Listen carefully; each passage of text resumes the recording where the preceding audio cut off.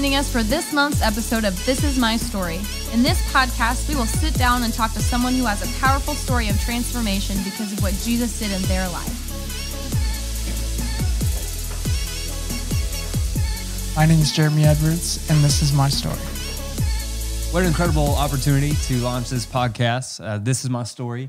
Uh, and I cannot think of a better guest to have than Jeremy Edwards. Man, we go way Thanks, back, brother. way back when, before Christ, right? BC. Right, right. And so Madi hears, uh, you know, me tell stories way back when, and uh, man, just excited. And you know, when we began to pray, um, and God showed us that you know we were supposed to have this platform of of having people tell their story.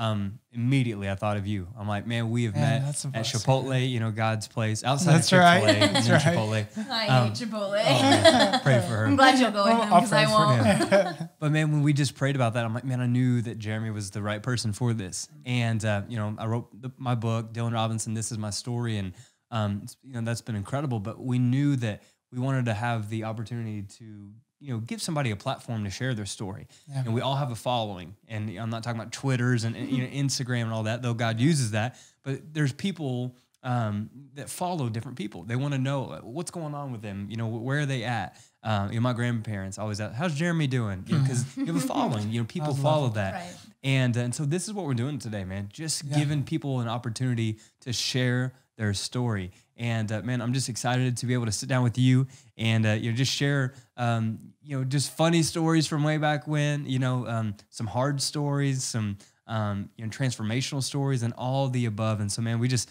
thank you so much for coming and joining us Yeah, here brother, today. It's, it's And an honor. you. Yeah, I love you guys. I'm so excited because I've obviously we've met multiple times, so I so I know you, but I don't I don't know a lot of the backstory between you guys. So when when did you guys? You're in meet? for a And how- wild ride. Yeah, seriously. How much time do and how old were you guys when you met? Um, I would say we were.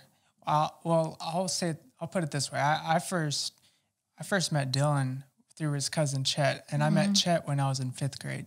And so Mm-hmm. Yeah, we started Okay. playing basketball against each other, and then, um, then of course I would play basketball at Chet's house, and then Dylan would be over there sometimes, and DJ back then, right? DJ, yeah, yeah, right. And so, you know, we'd be playing uh, ball together, and then, um, yeah, that's when we first met. And I'd so I'd say it was right around fifth grade to sixth grade when we first started meeting up. okay. Jeremy has a twin, Jesse, and they literally look identical, identical twins. But back back then, before Bieber hair was even around, they had That's the Bieber. right. They used to comb it right every time. I, I'd it, and I had that. I had that. Did you get the flip. flip? Yeah, Yes. I got this neck muscle that gets a little sore. That I is think it's inflamed hilarious, from man. that. Yeah. That's Seems like yesterday. okay. That's so funny. So did you guys ever go to school together, or did you just know each other from running around with Chet Um, yeah, we went to Hillcrest uh, for a little bit Freshman together. year. And in high school? Okay. Yeah, Yeah. yeah. So me, Chet, my cousin Jeremy, and a whole bunch of people, man. Man, whole bunch. yeah, the whole the whole gang. Yeah. The whole gang, man. What kind of crazy things did you guys get into?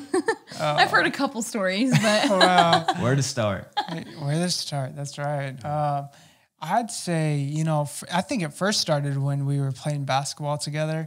We would be out all night playing basketball. I mean, I remember nights that we'd have tournaments against each other, and we'd be playing we'd be playing pig and uh, knockout, just all types of stuff. And and then of course turn like we'd have like neighborhood kids, kids from Reed, PV, and then um, we'd come in just dog tired, like just drained. Right. And then, um, yeah, I'll let you go ahead. No, I love it. yeah. Man, I remember you guys had this uh, little group called Scars. You know, Oh, there yeah, was that you know show Jack Butt, if you will, right? Right. That everybody watched, and so you guys had Scars, where you know, because in middle school I went to Pleasant View, which is like the north side of Springfield, but a little bit nicer, you know, of a school. Not really, but you know, for north side. But then there was Reed, which was like the lower side, and. Um, you know, if, if you will, and that's where my best friends were. You know, Jeremy, Jesse, you know, Chet, and all of these kids. And so Yeah. I remember us hanging out, and my friends from my school were like, "Why are you hanging out with those guys?" I'm like, Yeah. they're awesome, man." Yeah.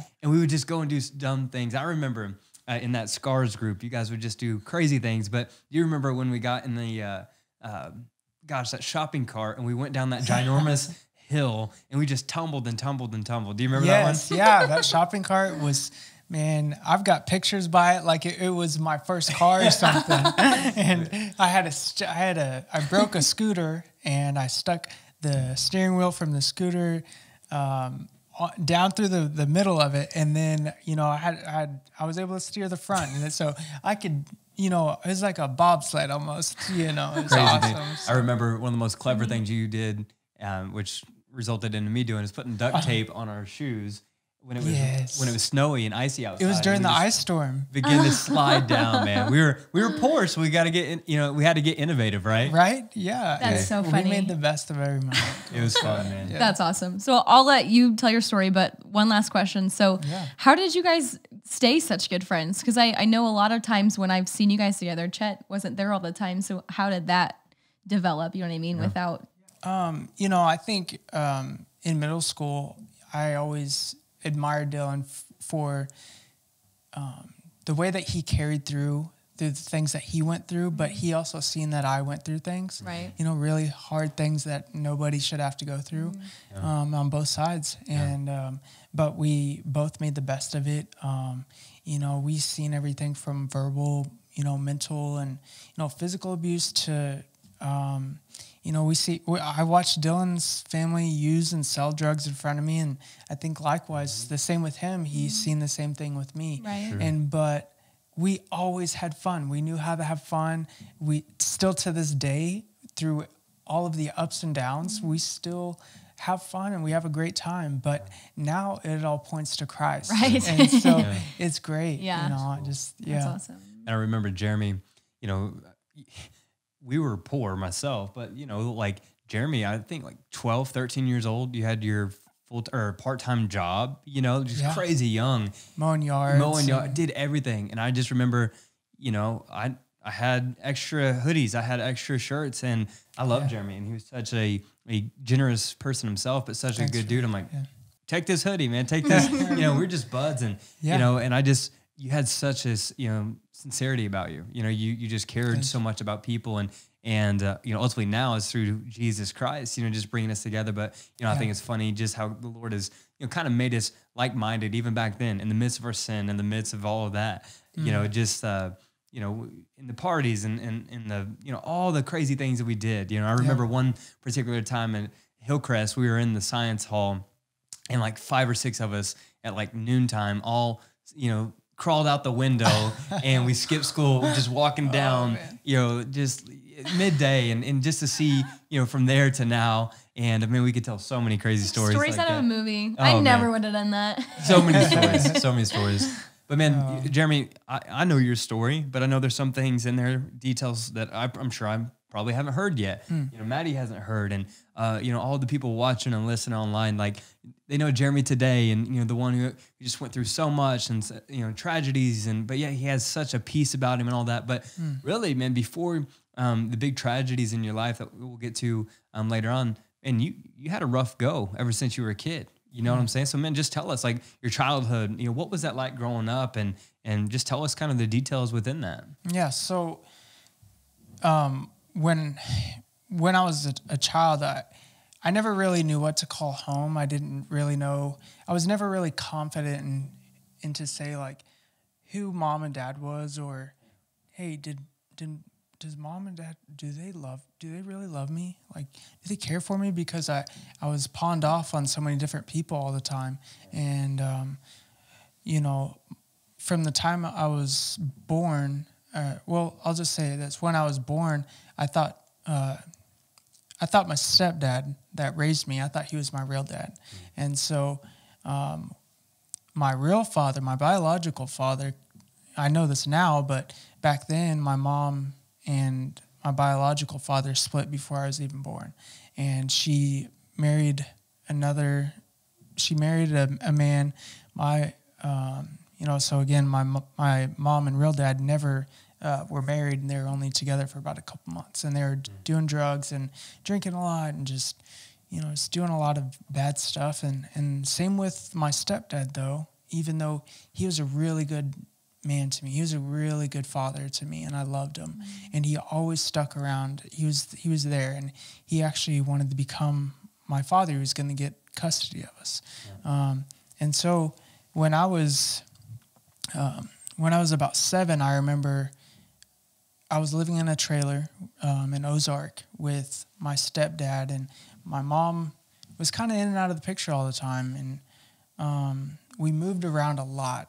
And uh, but at at this particular time is when you know when you're little and you can kind of start remembering things really well. It was about this time I remember when my my mom just was kind of gone too long, and I said, "Dad, you know, I was up, I would, get upset and uh, I'd cry sometimes, and I'd be like, Dad, you know, where's mom at? He, oh, she's working. You know, she's, you know, she's out of state. You know, she'll be back. And I thought, this doesn't feel right. And I'd keep asking and then eventually another lady started living with us, and then later on in life, I found out that my mom had left state and she started dating another man, and um, there are so many fine details like that that I had to find out later in life and piece together myself mm-hmm. because I was, you know, lied to or right. not told everything. But um, so my mom came back into town real early one morning and she picked us up, uh, me and my twin brother. And I actually had another little brother named Jimmy, and he he was there with my stepdad. So my mom and my stepdad had my little brother Jimmy, and my but my mom came back and she came early one morning and said, Jeremy, Jesse, grab your bags, you know, like kind of in a panic. And she said, grab your stuff, we're, we're leaving. And I thought, what do you mean? And I was supposed to go on a field trip that day. I was so upset. And um, I remember my mom took us to Springfield.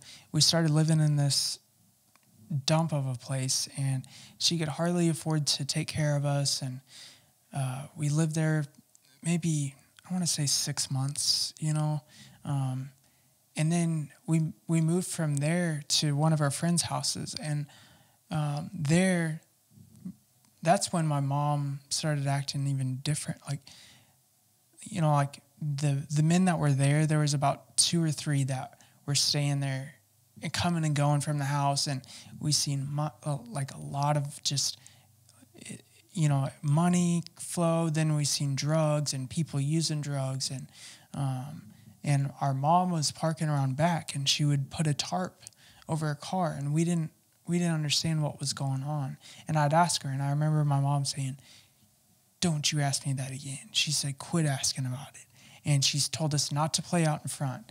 And I thought, you know, this doesn't make any sense. And the guys, she would be, she'd go off to work, and the guys that were there, they would do awful things to us. Like, you know, I remember there were a couple guys that would burn cigarettes on our arms. They would, you know, they would, I would like throw the cigarettes out of their hands or, you know, they would, uh, they'd be drinking in front of us and try and get us to take a drink or something and I'd throw it or something.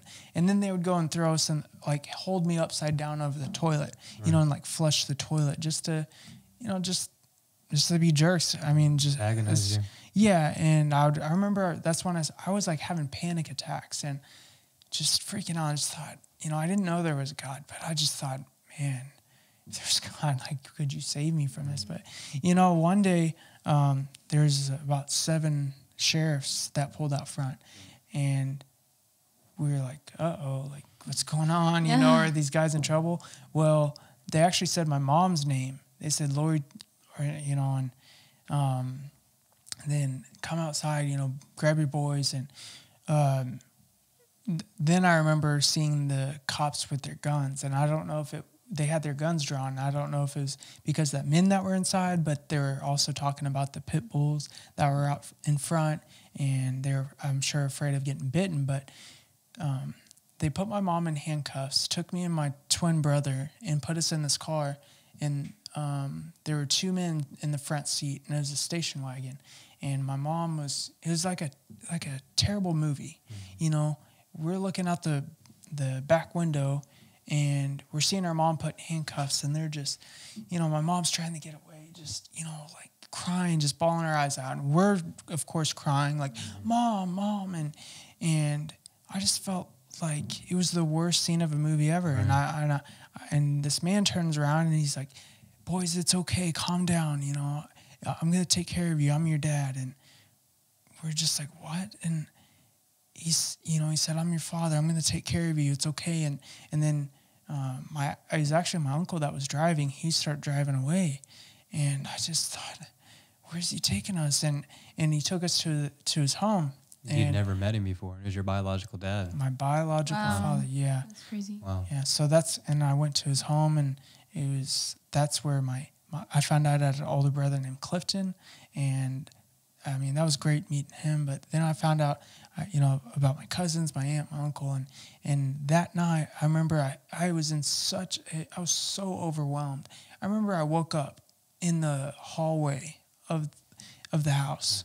I just thought i must have fallen asleep here and i just i just looked around and i thought where you know like where am i? And i'm like oh no like and that started all replaying i'm like Right. And so yeah so that's how i met my real father and that How old was were you? You think? i was i remember it was right before first grade. Wow. so six seven sh- yeah so Super young. yeah it was just wild. Man you know so drugs was you know immediate in your life you know and then you saw the abuse with your mom and then you met your biological dad. Yeah. I mean, what was that like? You know you um, you know didn't know your biological dad um, Yeah. before that did you ever ask about him or did someone else was someone else um, you know playing that role of your biological dad? You know what was that like for you when you yeah found that out? so yeah so i thought my biological father was my stepfather but then when my real father got us that's when i found out. But then you know years went by that i started living with my real father and later in life i found out that my father had actually only been clean off drugs for about a year. So he was in church he kind of he started taking us to this pentecostal church where you know I hated church. I, I wanted nothing to do Right. with it, honestly. And Yeah. the it was just weird. And I won't say the name of the church, but you know, it was just too much. I mean, people were being thrown on the floor and they're just shaking. I thought, what is going on here? You know, but I, uh, I, I remember my my dad had, um, just he was really he was always on edge and he was really just bitter and angry all the time and just Your he, stepdad? my my real dad Okay. that I should start living with. Okay. And he he was always on edge and but um, by the time we got in middle school, we we had moved a couple times, but I remember he started drinking quite a bit, and I thought this is weird. This isn't the man I first met, you know. And um, he got he was married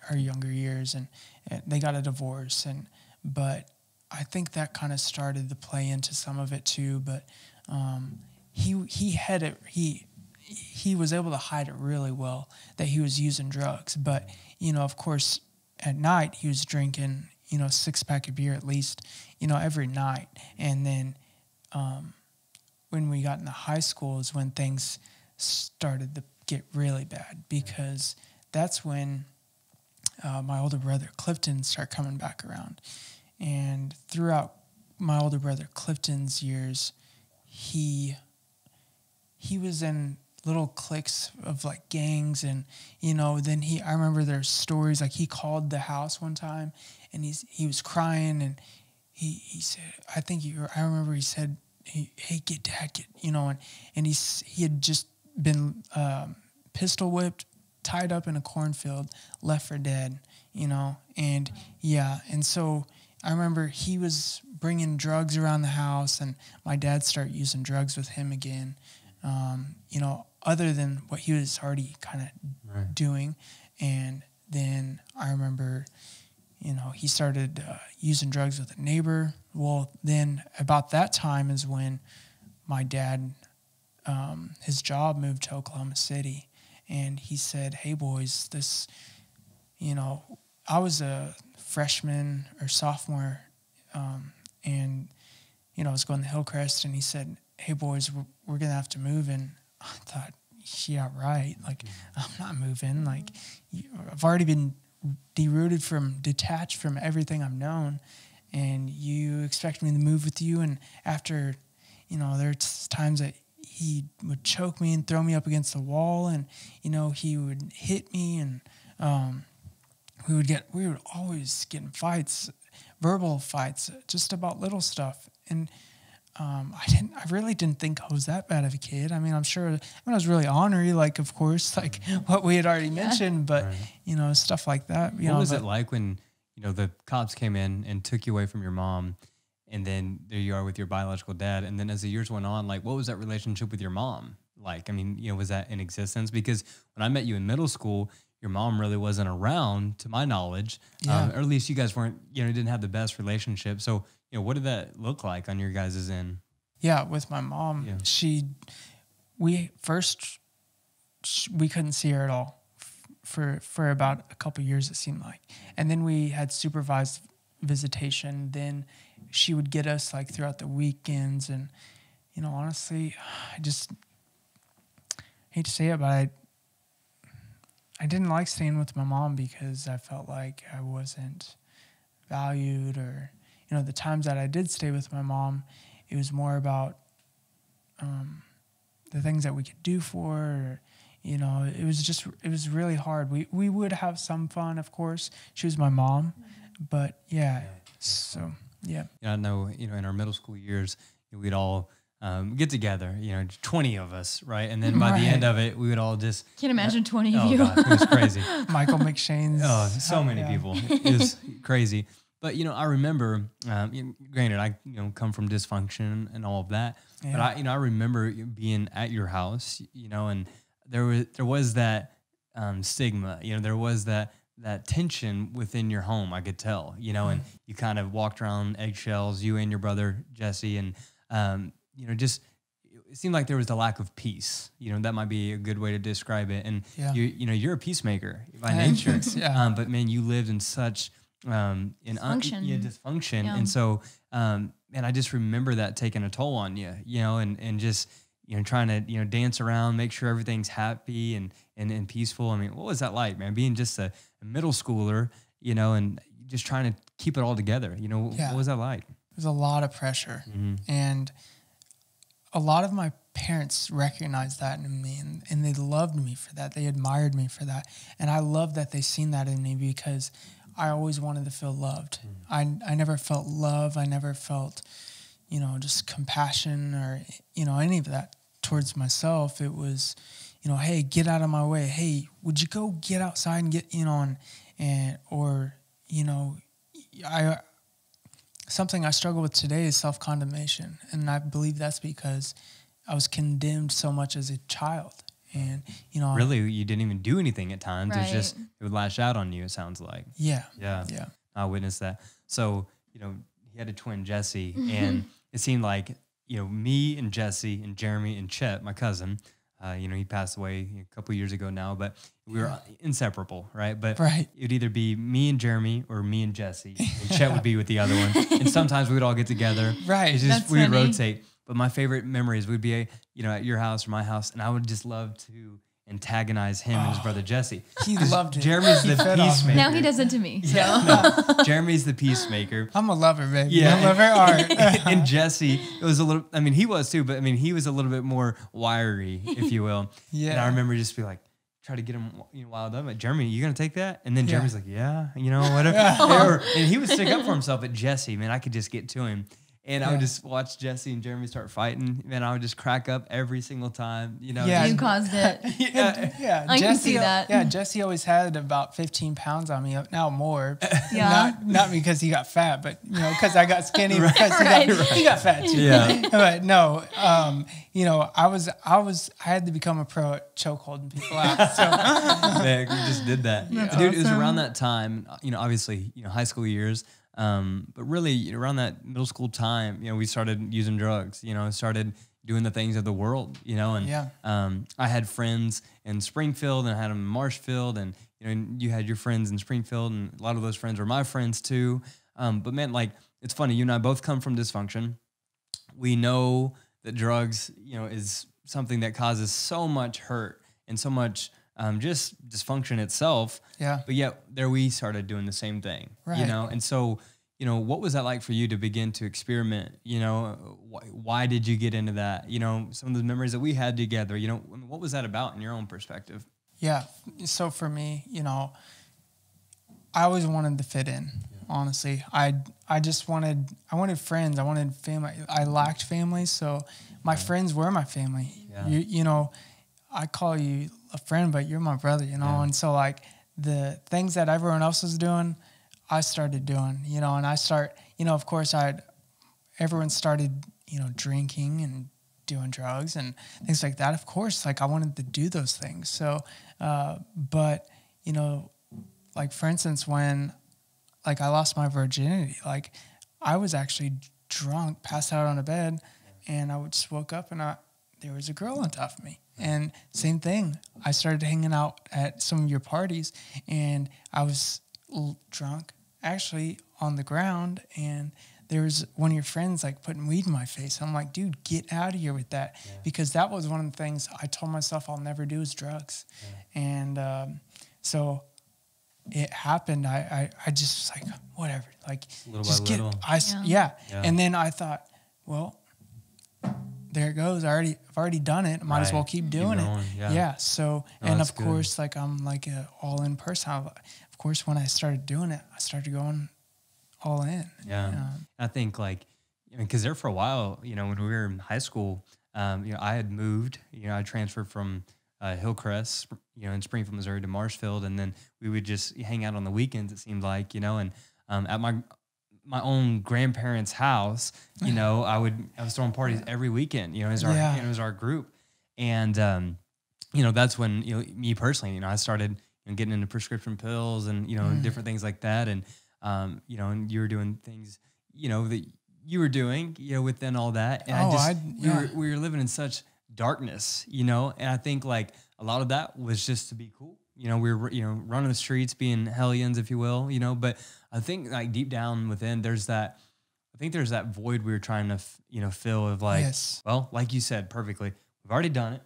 So let's, you know, let's do it with all of our might, you know, and, you know, I came from that family where we were just crazy and we are going to be crazy, you know, and I, um, and, and just watching, you know, how that just began to take a toll on me, at least I know in my life, it began to mess, you know, mess with me mentally and emotionally. But Yeah, what about man. you, man? Because there, for a little bit, you know, there was that separation where, you know, I was kind of 30 minutes away and you were there at Mm. the same place where you grew up on. I mean, what was your frame of mind? You know, I mean, how were you emotionally? How, how were you physically and all of that? Yeah. So during that time, that's when, um, so my dad's job moved to Oklahoma City. Well, I had to start living, uh, you know, I, I had to just figure out where I was going to live. So I called, called around my family, even though I didn't really want to, you know, because I knew none of them could afford to really take me in. But there, um, I called my grandma, and she was living with her sister, and her sister had her son and hi her son's girlfriend, and my grandma's son was living there too. And this is a four bedroom home. And then, of course, me and my twin brother moved in there. So it was chaos. Yeah. I mean, fighting all the time. And, and then um, about six months went by. My great aunt was just like, everyone, get the blank out, you know, and I thought she was joking. So of course I just I just left for a bit. you know. Right. I come back, she goes, I told you to get the and I was like, What? Wow. Like and I I was I thought she was kidding and I said, I left and I'm back. She said, I mean get out of here. You're not living here. Wow. So yeah, so I thought, oh my gosh, she's serious. Like and I just started living there not too long ago, and um, I thought, man, I'm 16. Like, what am I gonna do? And so I'd been hanging out with one of my buddies, Trevor, one of our good friends, and I put my head down on the fence, and I was just bawling. I just, I was like, I don't know who I'm gonna call. Like, I don't know what I'm gonna do. But I called him because Jesse had already um, decided he was gonna live with one of our friends, Michael, and I thought well, I don't want to overwhelm a family. And I thought, well, maybe I'll call Trevor and see what they say. And he said, hey, you know, um, let me ask mom and dad, see what they say. And then, so then after I, um, yeah, after I called Trevor, his parents said, he said, hey, tell him that he can, you know, start living with us. And so he said, yeah, mom and dad said, grab your stuff and all your stuff. And I thought, what? Like, mm-hmm. you know, I just couldn't believe it. From awesome. literally found out I was gonna, you know, be kicked out. I felt mm-hmm. homeless or Of your Yeah. own family. yeah, my own family to then one of my best friends saying, "Yeah, you can come live with me." Dur- So during that time, I just thought, like, "Wow, this is so awesome!" And and I had, you know, I was using and selling weed, and I was drinking a lot, and uh, like I was the go-to guy. So I thought, man, I this is this is nuts. Like I, I don't know how I'm gonna hide this from his parents though. So of course I tried stop. I stopped selling weed, but I couldn't stop. I couldn't feel. I couldn't give up that void, or you know, and or fill it with anything else. I didn't know like, and I just lost all my family. So I just kept doing what I was doing, but I was just living with my friend and his parents on the couch, and so. Um, I want to ask you just real quick, what was that like? You know, your dad moving away, because you were 16, right? yeah. And your dad Yeah. moved away, and then you and your brother just left, you know, behind to just try to figure that out. You know, at 16 years old. I mean, for you, I'm sure it's just normal, you know, just surviving. But you know, for most people, it's not. You know, that's not normal for you to have to do that. I mean, what was that like, man? Just like mentally. I mean, did it just did it break you down, or were you just so numb to it that you just like, hey, that's life? Yeah, I mean, that was just life to me. But you know, I I knew it was different because I would see my friends and I would compare myself to them and I thought this is just great, you know, and like I always I was a little I was always insecure of like what girls thought of me because I thought to have a good girlfriend, you know, I thought you had to have a nice home, a nice family, um, you know, have money in the family, and so that always played a toll on me, and it always hurt hurt me inside. So I felt like, man, I gotta be somebody to, you know, I gotta I gotta stand out somehow to, you know, make up for all that, and then. But so yeah, during that time, I just it it, it was really rough. Yeah. Uh, Can't imagine, dude. yeah. you know, it was around that time you were living with Trevor um, that, um, correct me if I'm wrong, but you ended up calling me. And, Yeah. uh, yeah, so 16 is when I gave my heart to the Lord. And, uh, you know, God just radically transformed me. And, and I don't know if I've ever asked you, um, you know, it'd be funny with Madi sitting right here. Like when you heard, you know, that, DJ Robinson. yeah, that, that I got saved and all that. I mean, what was your perception of that and, and reaction to everything that took place there? I thought, you uh, get out of here. I was that's like, I just thought, what in the world? I thought, man, either God's really good or something's good, good something's happening. Like, I, Did you believe it when you heard it, or were you like, "Oh, this is just I mean, this I is believed nothing"? it because I knew Dylan when he did something, he was going to do it. That's yeah, that's So- true. But that's funny. you know, but when it, ha- you know, You're like, was- whatever. You probably thought I was high and just, man. Uh, you know, so we, you know, that took place, and Yeah. um, you know, so I, you know, I was living with my youth pastors, and you know, so I had a unique situation myself. But Yeah. I remember one night, um, I got a call from you, and, I hadn't talked to you in a little bit, and I was like, oh, it's Jeremy. Yeah. And um, man, like that's when you just began to just spill your heart out to me, and like it was so evident the Lord, you know, had spoken to you. So I mean, Mm. kind of tell everybody what was that like, man? Because I was the recipient of that. I'm like, and I just remember one thing saying, "Bro, that's the Lord. Like th- that's the Lord." Yes. So tell me about that. Yeah. So, you know, during this time, I was living with my buddy Trevor, and then I was also uh, doing heating there. So I was driving back and forth to Ozark, and I'd already been going to church during this time. So, of course, God was working on me, Yeah. whether I knew it or not. And um, I was uh, going to. I remember I was I was 16 going to church hungover, you know, and Were you going by yourself or with a family? I was going. Yeah, I'm glad you asked. Uh, my, you know, uh, Seth Thomas. He invited me, and uh, you know, Seth wasn't always there, but his sister was, and I thought she was pretty darn cute. So, So that's why yeah, yeah. makes sense. by all means, win some.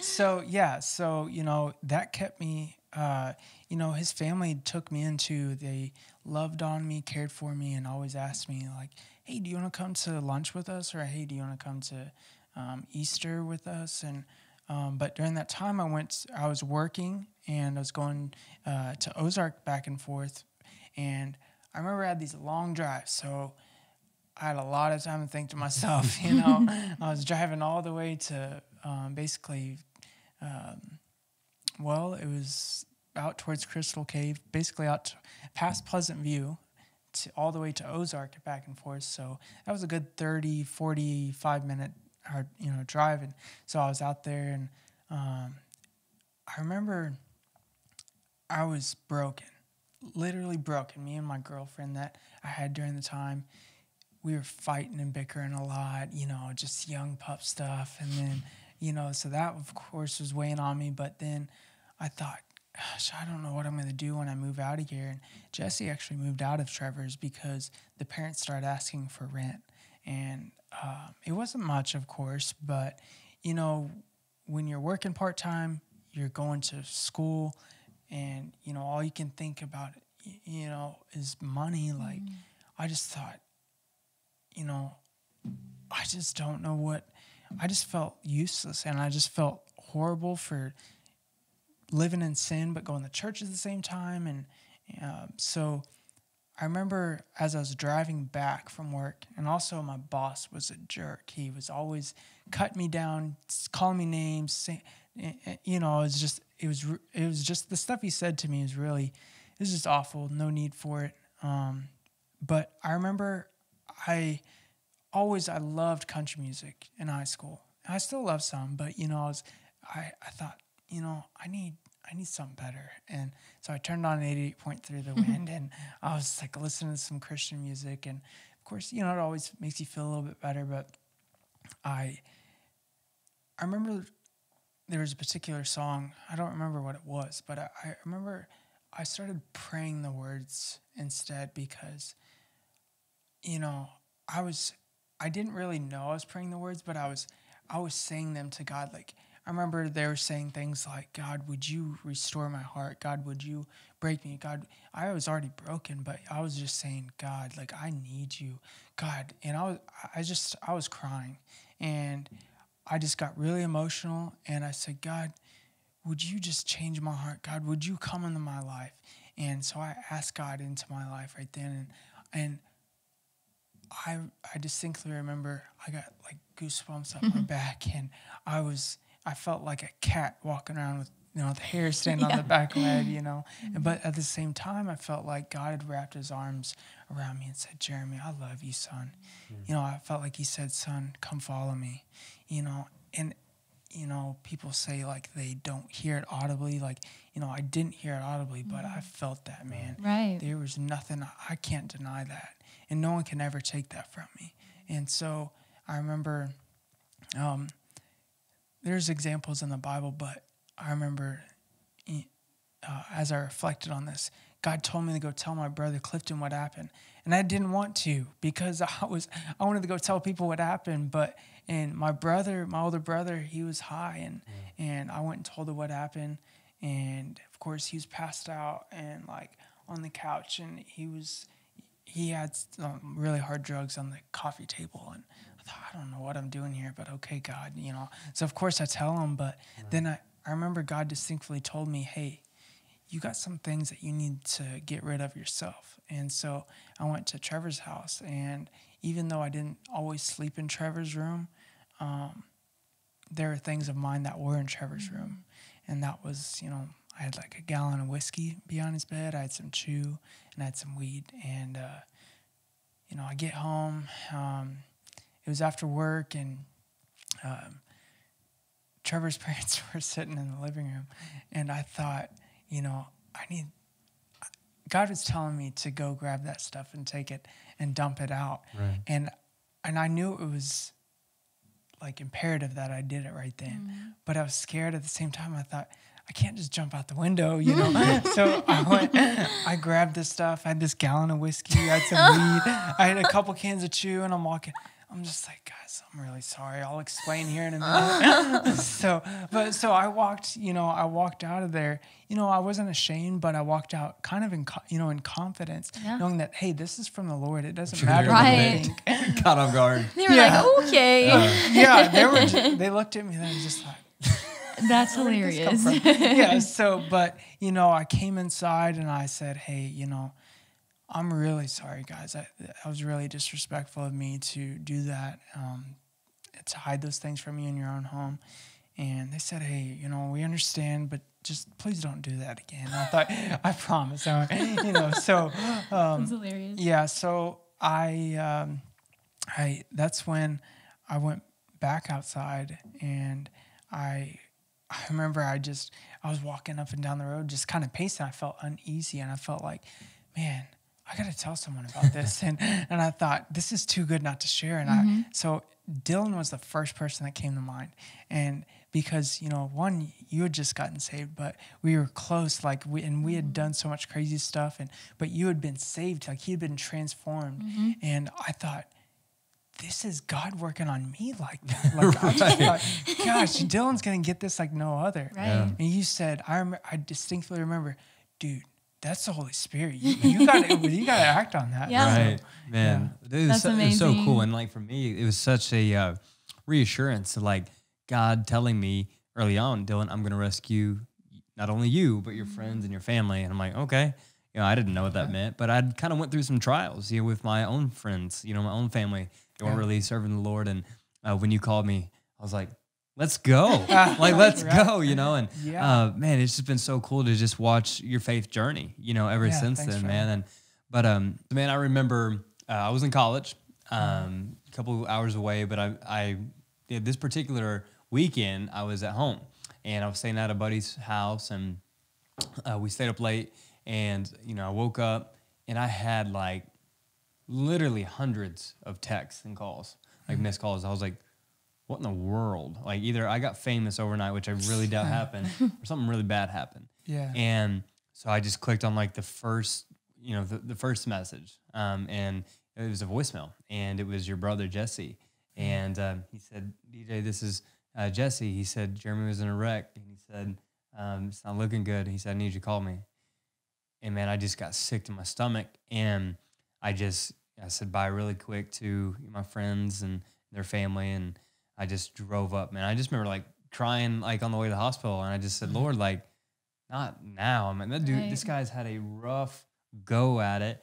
You know, he's you know living for you, and you know, and and and you're trying to do better, and and just all this, you know, all these things that's taking place, and now this, you know, like why? And I just remember crying, like, Lord, please don't take him right now. Please don't take him right now. I remember just you know praying that over and over.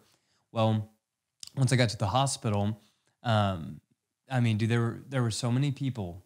I've never seen so many people in the waiting room in my entire life, and I hadn't seen a lot of these um, people since high school. You know, or you know, when I was in uh, Hillcrest, and you know, sometimes or some of them even middle school. You know, and so they hadn't seen the Christian version of me, and so I walk in and just hundreds of people just look at me and you know they knew I was a um, pastor in training Yeah. and uh, and I just remember somebody grabbed me and said we got to pray. And I said okay.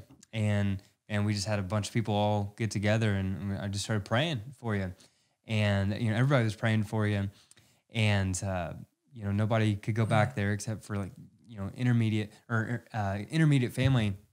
And uh, but because I was a pastor, I was allowed to go back there. And uh, me and your brother Jesse went in there, and and man, I was just like, Lord, prepare my heart because I had no idea, you know, what to expect. And Yeah. when I went back there, I mean, your head was so swollen, you know, from the fluids and the wreck and the damage and all that the trauma the trauma. I mean, it just I, I mean, it just I was speechless, and I just remember just put my hand on you, you know, and, and Jesse was right there, and we started talking and praying, and uh, you know, and your little vitals making made sounds. I'm like, he's got to hear me. I'm I'm believing that, right?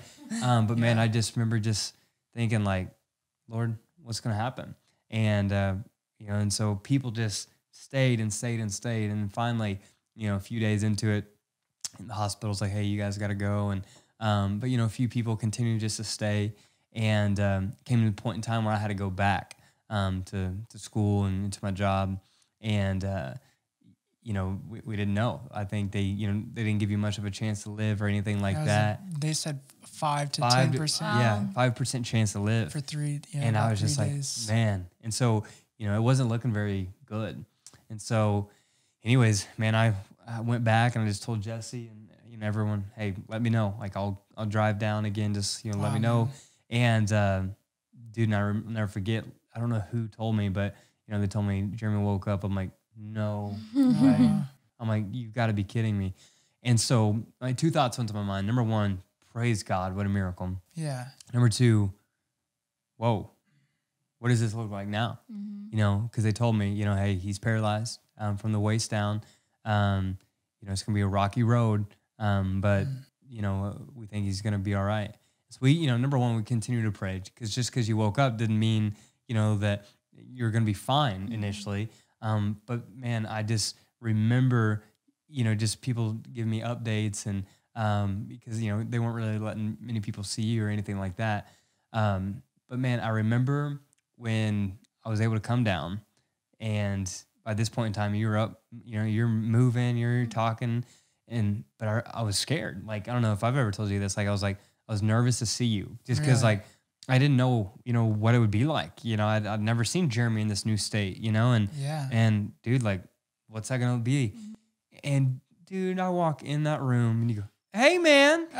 and I was like, that's Jeremy though. I mean, dude, that's you. Like, like Oh, to a T. Like, you know, just crazy. He's a story, and we're, you know, I want you to talk all about it. But Yeah. the first thing I see is you in this, you know, rehab center. You go, hey man, how's it going? and I was just like, dude, only you, man. Like, like that's always been you, the the happy guy, the the peacemaker, and The bounce back kid. yeah, the bounce kid. You know, your life just you know got turned upside down, and there you were, joyful. And so, you know, that's my perspective. That's my mm-hmm. side of it. And you know, we'll talk post wreck in a bit. But man, Yeah. what trauma? I mean, Yeah. what? I mean, I can't even imagine. So I just love for you to talk like you know pre wreck, like do, what do you remember, and then the wreck, and then post wreck. Like, what was that like, man? Yeah. Yeah. So let me say first that I, you know, of course, I had been radically saved by Christ. Yeah. I changed and, um, you know, I found so much peace and just, I felt so freed through Christ.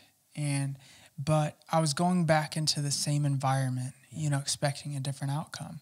And of course, my, my environments kept changing. So I lived I, I moved out of there because I just thought, well, Jesse's living on his own. Like maybe, maybe he, of course, found some deal where he could live in a, his own home at 16 or 17 and was paying rent and uh, living on his own. I started living with him, and things just got too crazy. I mean, people were stealing my clothes, and they were go- they were drinking a lot, and I just thought this is everything I didn't want, you know. And like I knew, I kind of had an idea it was going to happen, but I didn't know. I thought like maybe I could somehow make it all better, and of course it didn't.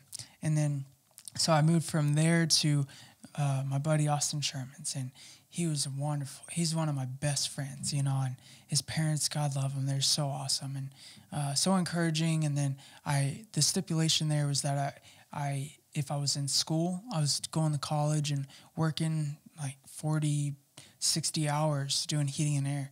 And um, that's when I knew that uh, like work was too much. Like, but I couldn't quit working because I was also supporting myself. I was just living under their roof, you know. So I was like, guys, I'm sorry, I got to move out of here. So I moved in with um, my buddy uh, Jamie, which is a terrible mistake.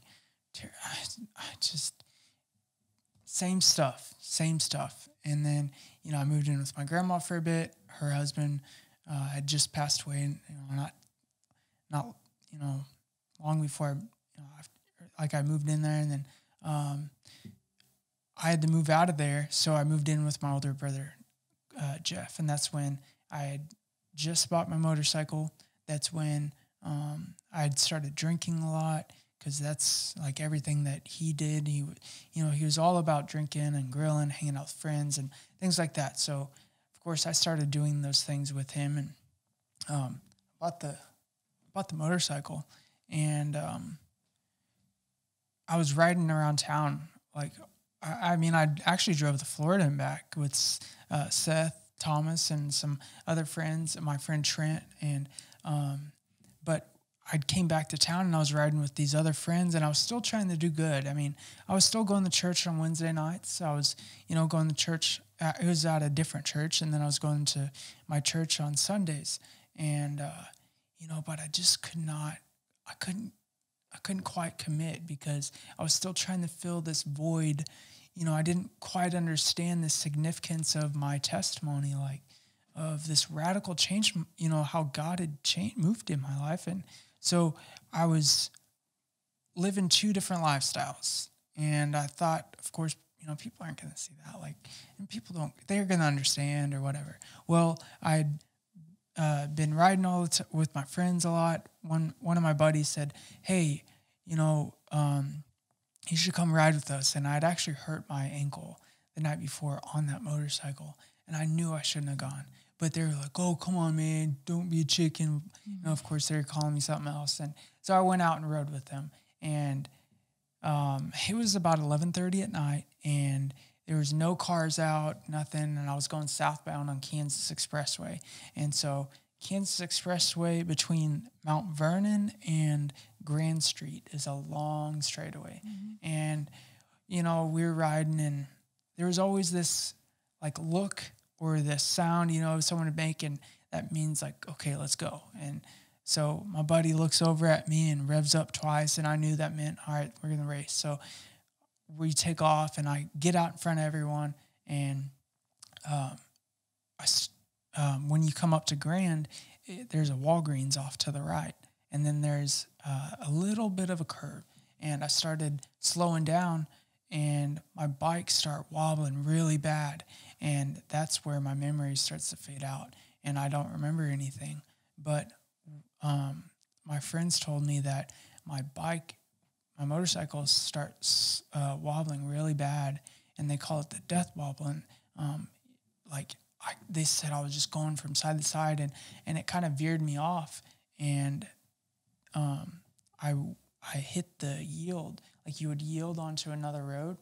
I hit that concrete median, and but I think what happened is I actually laid my bike down over on the left side. Or I'm not exactly sure. I'm just trying to figure this out myself. But my bike went flying, and it flew completely over an intersection, flew into a water culvert that wraps around where Walgreens is, and um, then I was laying in the middle of the road, and my um, my friend said that when they wrapped around and came back towards me and they looked at me, he he just couldn't believe it because my leg was looked like an S because I broke my femur in four different spots and I I broke my clavicle and my um, my collarbone. You know, I um, the end bone right here is called your acromion process, and that is broken off, and it's just sitting there floating. Like I can't raise my arm up, you know, past my head because that bone is just sitting mm-hmm. there.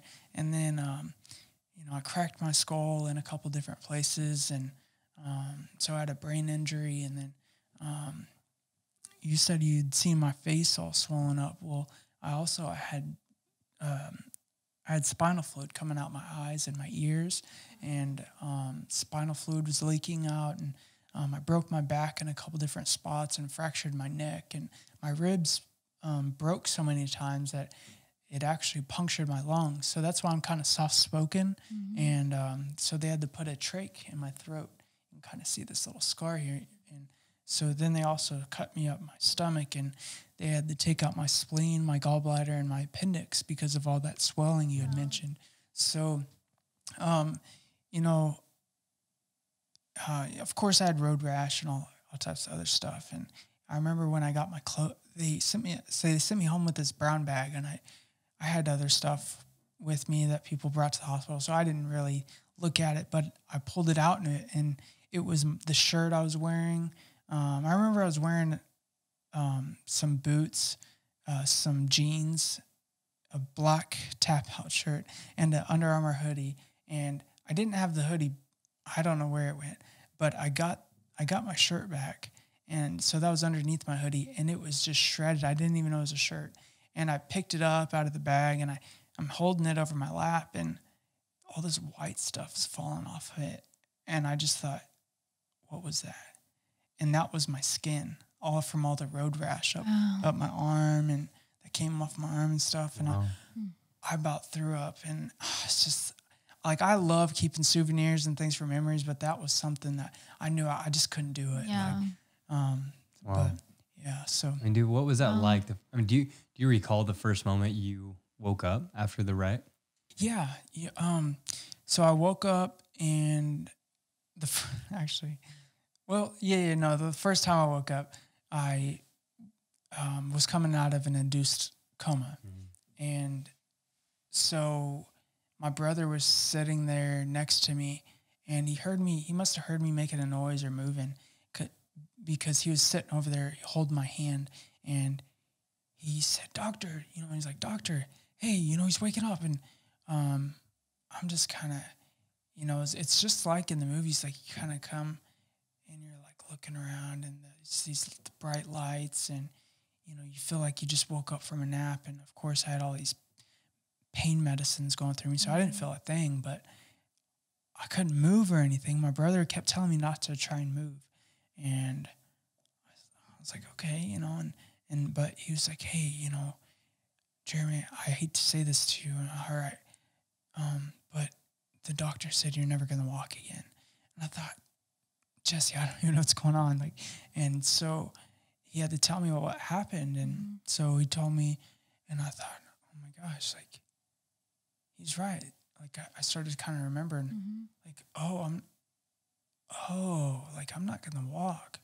Oh, because I must have wrecked my motorcycle. Hmm. And I thought, wow, like, and so, you know, of course, I, I couldn't quite remember everything that was being told to me, so they'd have to repeat it all over. Hmm. And I, you know, I had a, I sustained a brain injury, so at that time it's hard for me to kind of process things, but also remember things. Right. So they kept telling me all of that, and so now, of course, it all stuck. But you know, Wow. So I mean, granted, you know, you went in and out, and so it's hard to really remember. But like, what was your immediate reaction? Was it, you know, scared, angry, you know, sad? I mean, like, yeah. I Well, can't man, imagine. I still had God in my heart, right? So, Right. so I, I just, I said, it's, it's okay.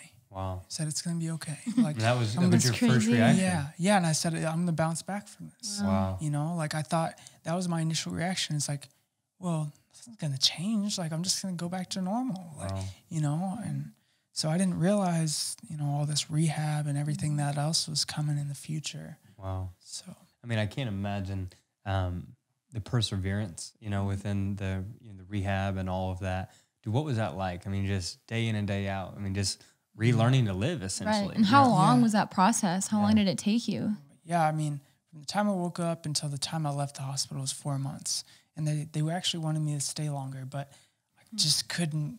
I was at a point where they kept saying like, "Hey, we want you to stay at the hospital," but you, you know, like I kind of got the hint that I could go home at any point, and my mom was actually in the room with me the whole time, and um,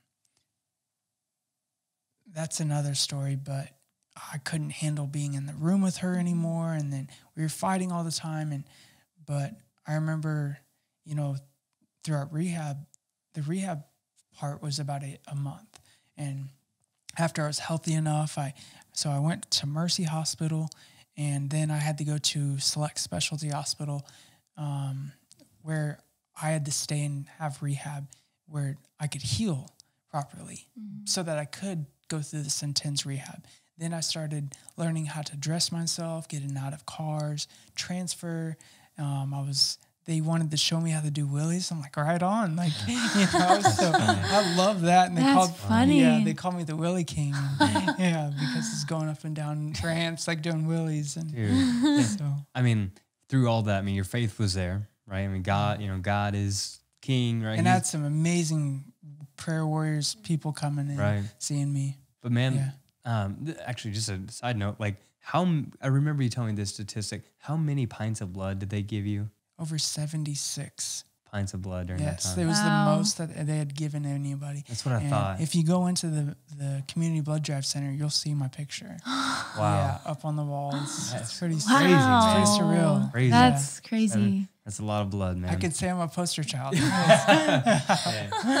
you know, so I mean, your faith is you know was strong, but man, like you had to you know relearn to live. Essentially, I can't imagine the emotional, you know, just mental battle, if you will. You know, just through that. Like, yes, I love God. Yes, I'm. You know, I'm. You know, adjusting back to life. But like, what was that like? I mean, was, were there hard times? You know, just Oh, like, did you have resentment towards God, towards others? I mean, what was that like, man? Yeah, once once I started realizing that I was gonna have to live with pain, and um, you know, I didn't know where I was gonna live after. That that that's when like life starts setting in. Like, wait, I'm not always gonna be in the hospital. Like, where am I going after this? Because my older brother, him and his wife split up, and so of course they weren't living together anymore.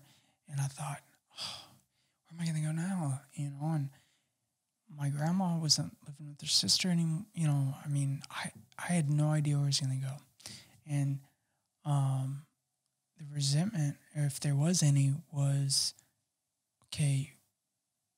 What's life gonna look like now? I didn't, I didn't, I couldn't put my head around all of that, and I just, I mean, I just gotten established. Like when I was living at my brother's, and I had my motorcycle. Before that, I had two cars, and um, Hey, there's a term called hood rich. I was hood rich, brother. I mean, I had two cars. I was living with my brother. I bought a motorcycle, and I thought, man, I've arrived. Like I made it. And then that happened, and then I started thinking, like, oh man, like what am I gonna do for work? And then, yeah, so there was all of this, like these thoughts, like, oh, God, I've always worked with my hands. Like, what am I gonna do? So, hmm. yeah, it was mean, tough to you know, so then like you found a place to live and, you know, then you're, you know, adjusting to that, you know, having to depend on people at first, you know, I mean, Yeah. now, I mean, you just got it all figured out more than me, right? I mean, you Yeah, just, right. you go in and out, but I mean, you had to, you know, essentially become somewhat dependent on some person.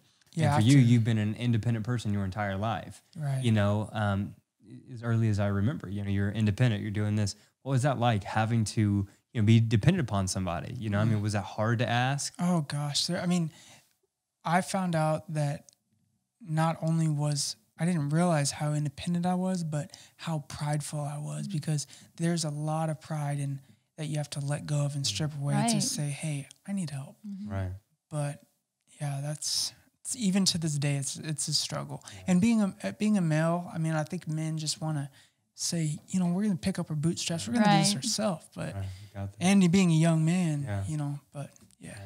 Did you, um, you know, you mentioned you had pain. I mean, still today. I mean, do you live with physical pain from the wreck? I mean, what's that yeah, like? yeah, it comes and goes. Of course, I feel like an old person when you know when the weather changes, Right. the pain kind of comes sometimes, and it, it's not always there. But yeah, so that's hard. And um, afterwards, I, you know, um, I had some muscle pain that I experienced, and we talked about this one time. We would drink. Me and Dylan had got, have gone through these different seasons of anxiety, and we, I mean. Thank God we weren't reaching for anything else, but we were drinking a lot of water. Yeah. And it flushed out my electrolytes and it and so it caused a lot of muscle tension. Right. Yeah. And so that caused some pain and I just didn't understand and I lived with that for a while. And Right. Yeah. I mean, dude, I can't think of someone who's, you know, you, you use the word or phrase bounce back better than you have, right? But in that, man, you know, we've talked. You know, you've had um, identity issues within that. Um, Yeah. You've had frustrations. You've had insecurities. You've had pain, uh, mental, emotional, physical, right? Yeah. I mean, dude, why have you been able to keep your faith in God? But also, I mean, you know, it hasn't been so easy either. I mean, tell tell us, you know, I mean, how have you been able to keep that faith in God? And what was that like processing through those doubts and frustrations? Yeah, well, you know, after my accident, I told you I didn't know I was going to live. And um, I ended up moving in with my grandma. And then there was this sweet family that came around and they asked me if I wanted to move in with them. And it was the family that I was going to church. Um, I never met them, but it was a family that I was going to their same church on Wednesday nights. And I thought, wow, man, God is good. And Like, I just thought that's great. And so I lived with them for about three years, three plus years, and um, until some things happened and that you know I couldn't quite trust them anymore, and um, I, I had to move out, and just some things happened. I just I knew it was time for me to move out, and I moved into my own apartment, and that's when I started to realize like, wow, like you know, there's a lot that you need to work on, Jeremy, and that you aren't you aren't working out with Christ. And and there's something about living alone. You know, just like in the Bible, it talks about people being off in exile or, you know, um, God sends people out in the wilderness for 40 days and just breaks them, you know.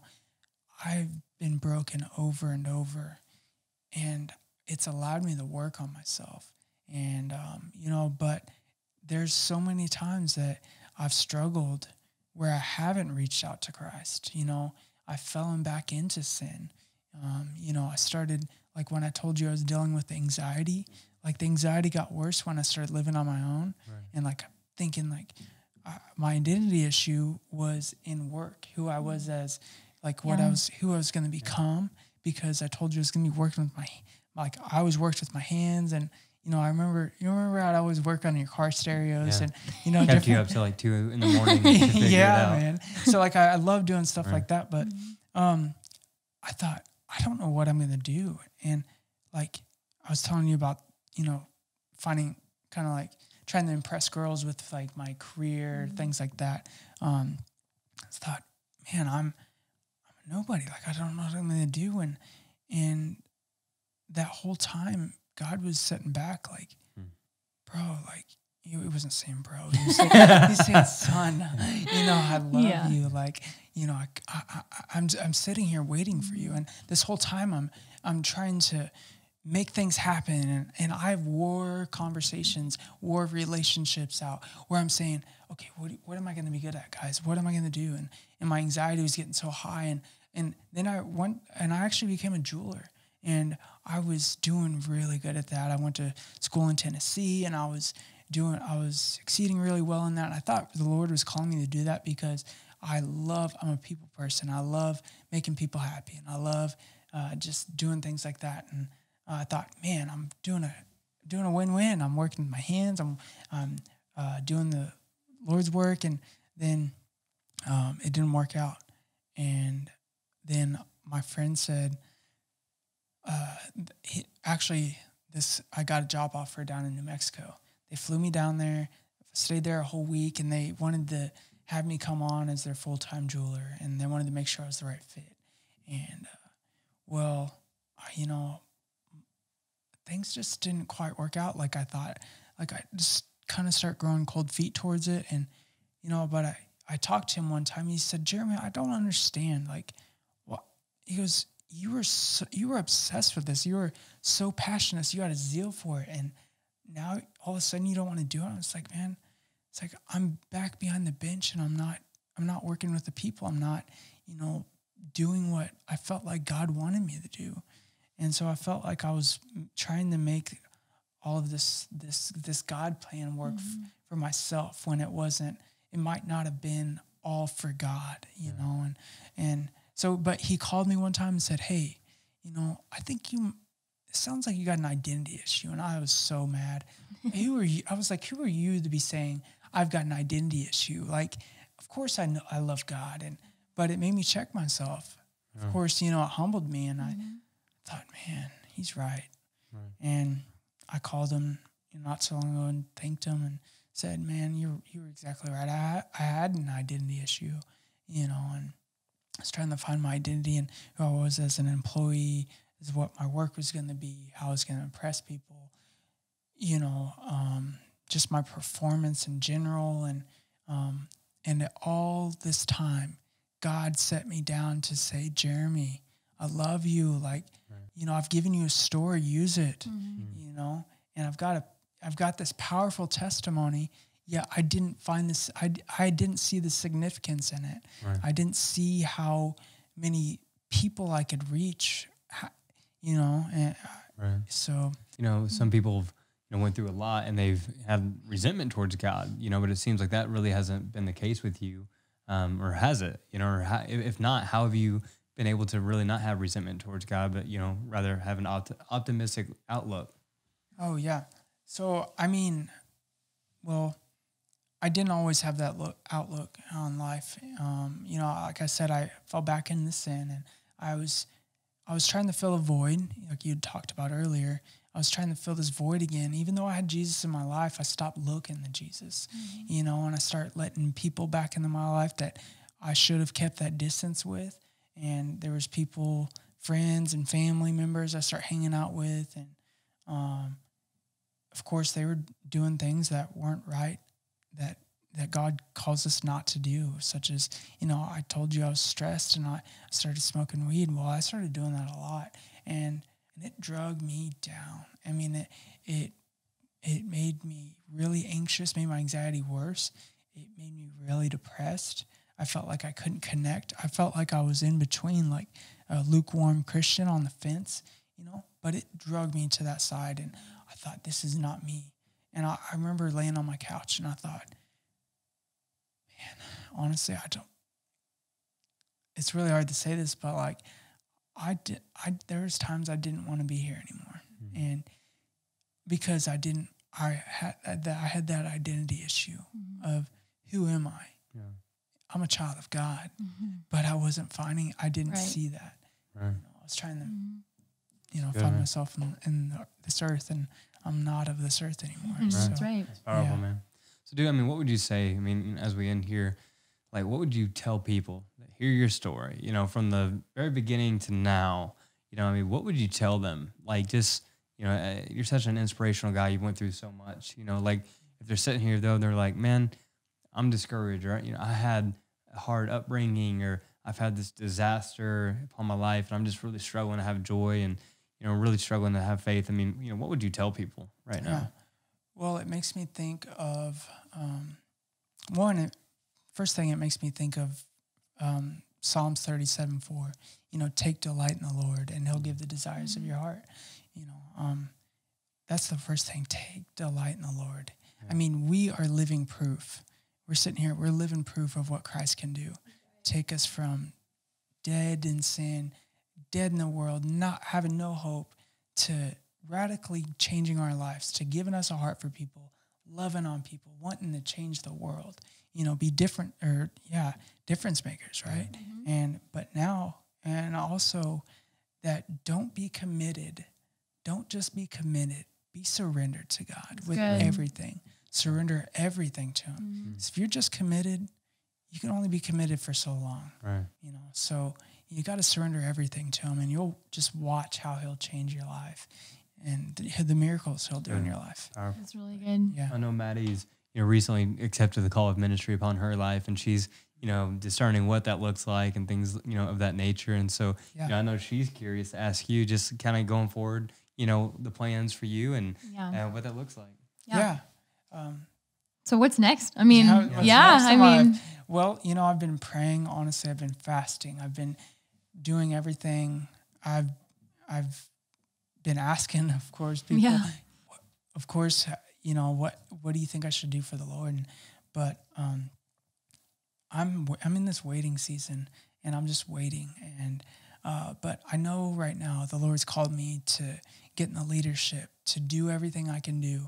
You know, he, He's telling me. I've always I've told Dylan that I called him one night and I and I was pretty broken. I said, "All right, D." I said, "I'm giving in." I said, "I'm giving in. I I know God is telling me to call my tell my story. He's told me that. So I've been writing my story, writing it down, and mm-hmm. and telling people.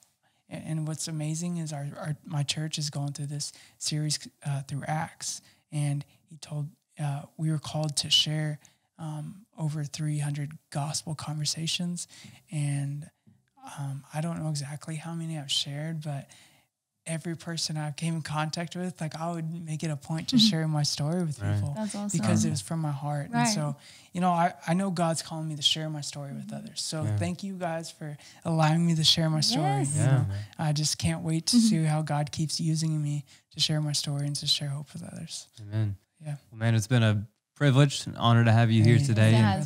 From little hellions growing up on the north side of Springfield right. to now. Um, dude, it feels like every I don't know two months, three months we get together over Chipotle yeah. and uh, you know just hang right. out together. You know, but dude, it's been cur- um, incredible and encouraging to watch man the growth in you. And I know you haven't been perfect. None of us have been perfect, but man, like mm.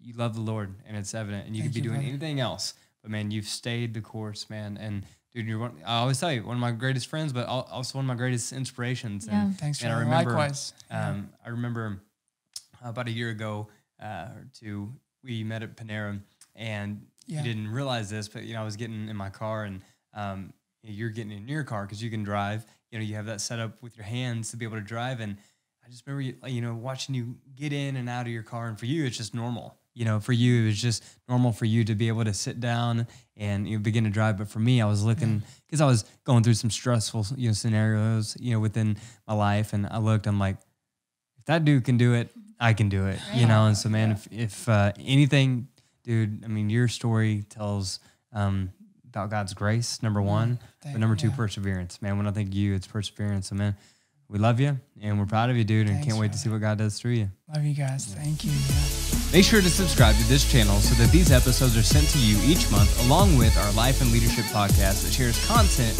about the behind the scenes in our own lives and also talk about various leadership principles that we found to be beneficial in our own life and ministry. Also, check out our midweek message and worship podcast that's released every Thursday. Thanks for hanging out with us.